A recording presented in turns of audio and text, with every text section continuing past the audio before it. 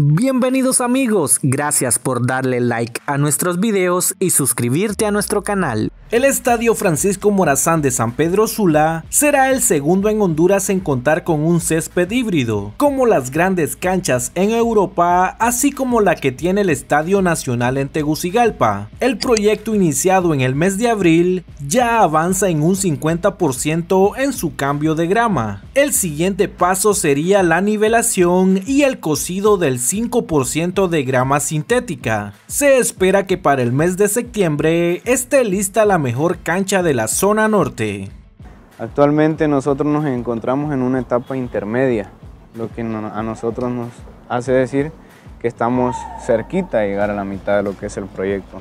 Correcto, Geotextil eh, nos ayuda a nosotros como una división y protección para la, capa de fundación.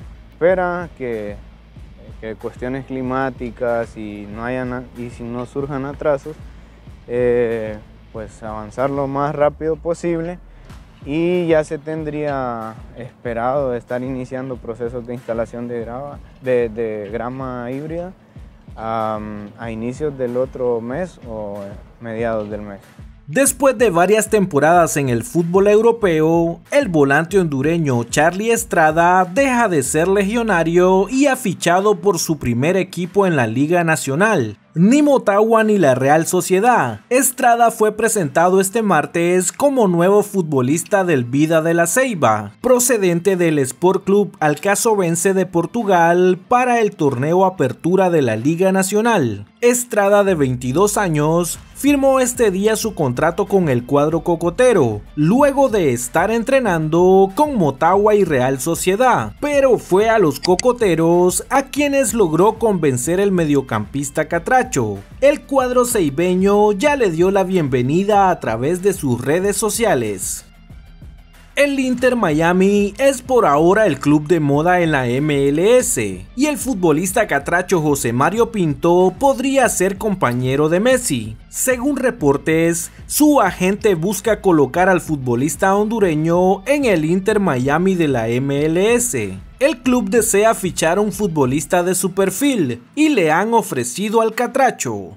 Además, buscan un volante ofensivo y un defensor central. La empresa de representación de jugadores, Chris Far Sport y Entertainment, es la que intenta colocar a Pinto en la MLS. La buena Copa Oro realizada por José Mario Pinto de 25 años sería la hoja de presentación del representante David Mancilla para intentar convencer al club de la Florida para que cierren el fichaje del Catracho. En los próximos días habría una reunión con el Club Olimpia para definir algunos detalles si se logra concretar el traspaso o préstamo. En Los Ángeles se valora mucho la tremenda campaña que está realizando el defensor hondureño Denil Maldonado en Los Ángeles FC. El defensor de 25 años es el central titular del equipo, siendo estelar en los últimos 13 partidos del que hasta el momento es el segundo mejor equipo de la conferencia oeste. Denil realmente se está jugando su fichaje en cada partido. Su entrega le ha hecho ganar popularidad entre la afición y tras convertirse en una de las mejores defensas de la MLS, el club ya habría aprobado el fichaje definitivo del Catracho. Amigos, muchas gracias por ver nuestros videos. Recuerden suscribirse a este canal si aún no lo han hecho, darle like y dejarnos en un comentario su opinión sobre los temas mencionados en este video.